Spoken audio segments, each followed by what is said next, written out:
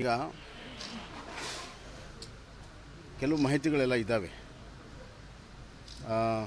ಪ್ರಾಣಹಾನಿಯಾಗಿರುವಂಥದ್ದು, ಪಕ್ಕ ಮನೆಗಳು ಬಿದ್ದಿರುವಂಥದ್ದು ಅಗ್ರಿಕಲ್ಚರ್ದು ಸರ್ವೆ ನಡೆದಿದೆ.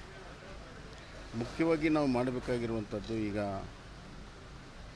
ಈ ಬಾರಿ ಈ ಮಳೆಯಲ್ಲಿ ರಸ್ತೆ ಸಂಪರ್ಕ ಕಡಿತಾಗಿರುವಂಥದ್ದು ಕೆಲವು ಕಡೆ ಲ್ಯಾಂಡ್ ಸ್ಲೈಡ್ ಆಗಿದೆ. ಕಳೆದ ಬಾರಿಗಿಂತ ಆಗಲಿರೂ ಕೂಡ ಲ್ಯಾಂಡ್ ಸ್ಲೈಡ್ ಆಗಿದೆ.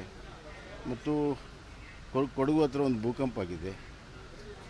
ಕಡಲದಲ್ಲಿ ಕಡಲ ಕೊರತ ಆಗಿದೆ ಇವು ಪ್ರಮುಖವಾಗಿರುವಂಥದ್ದು. ಮತ್ತು ಉತ್ತರ ಕರ್ನಾಟಕದಲ್ಲಿ ನದಿ ಪಕ್ಕದಲ್ಲಿ ಇರುವಂಥ ಮನೆಗಳಿಗೆ ತೊಂದರೆ ಆಗಿದೆ.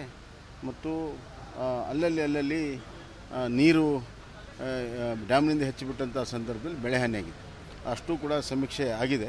ಪ್ರಾ ಪ್ರಥಮ ಹಂತದ ಇದನ್ನು ಇವತ್ತು ಸಾಯಂಕಾಲ ನಮಗೆಲ್ಲ ಬರ್ತದೆ. ಬಂದಮೇಲೆ ನಾನು ಸಾಯಂಕಾಲ ಪ್ರೆಸ್ಸಿಗೆ ಬ್ರೀಫ್ ಮಾಡ್ತೇನೆ ಅದ್ರ ಬಗ್ಗೆ.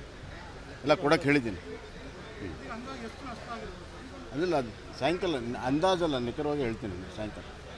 ಸರ್ ಚಾಮರಾಜಪೇಟೆ ಯುದ್ಧ ಮೈದಾನ ವಿಚಾರವಾಗಿ ಇವತ್ತು ಬಂದ್ ಮಾಡ್ತಾ ಇದ್ದಾರೆ. ಅದೆಲ್ಲ ಅಲ್ಲಿ ಲೋಕಲ್ ಅಧಿಕಾರಿಗಳು ನೋಡ್ಕೊಳ್ತಾರೆ. ಈಗ ಕೇಂದ್ರದಿಂದ ಪರಿಹಾರ ಏನಾದ್ರು ಕೇಳ್ತೀವಿ ಸರ್ ಮಳೆ ಸೇರಿ ಸ್ವಲ್ಪ ಮೊದಲು ಅಸೆಸ್ ಮಾಡೋಣ ಲಾಸಸ್ ಅಸೆಸ್ ಮಾಡಿ ಆಮೇಲೆ ಮುಂದಿನ ಕ್ರಮ ತೆಗೆದುಬೇಕು ಈಗಾಗಲೇ ನಮ್ಮ ಎನ್ ಡಿ ಆರ್ ಎಫ್ನ ಇದು ನಮ್ಮ ಸಾರಿ ನ್ಯಾಷನಲ್ ಡಿಸಾಸ್ಟರ್ ಮ್ಯಾನೇಜ್ಮೆಂಟ್ ಇದರಲ್ಲಿ ಏಳ್ನೂರ ಮೂವತ್ತೊಂಬತ್ತು ಕೋಟಿ ಇದೆ ನಮ್ಮ ಹತ್ರ. ಸೊ ದುಡ್ಡಿಂದ ಏನೂ ಕೊರತೆ ಇಲ್ಲ.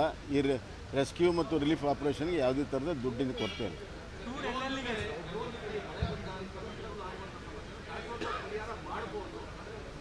ಕೆಲವೆಲ್ಲ ಮಾಡಿದ್ದೇವೆ ಕೆಲವೆಲ್ಲ ಮಾಡಿದ್ದೇವೆ. ಉತ್ತರ ಕರ್ನಾಟಕದಲ್ಲಿ ಮೊನ್ನೆ ಬಂದಾಗ ಹೇಳಿದೆ ಅರವತ್ತ್ಮೂರು ಊರುಗಳನ್ನೆಲ್ಲ ಶಿಫ್ಟ್ ಮಾಡಿದೆ.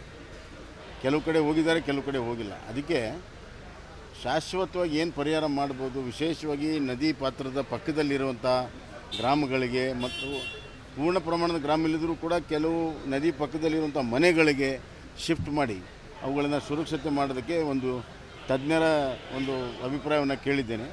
ಅದನ್ನು ಆ ಪ್ರಕಾರ ಒಂದು ವಿಶೇಷವಾದಂಥ ಒಂದು ಪ್ಲ್ಯಾನನ್ನು ಬರುವಂಥ ದಿನಗಳಲ್ಲಿ ನಾವು ಮಾಡ್ತೀವಿ.